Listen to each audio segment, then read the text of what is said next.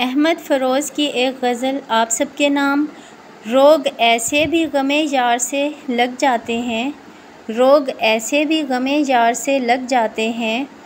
दर से उठते हैं तो दीवार से लग जाते हैं।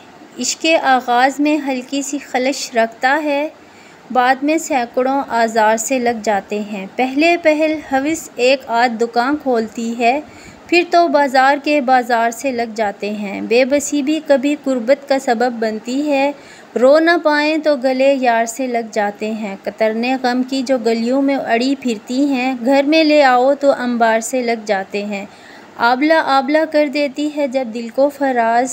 पर वो इल्ज़ाम जो इजहार से लग जाते हैं। कैसी लगी? सब्सक्राइब और लाइक ज़रूर कर दीजिएगा।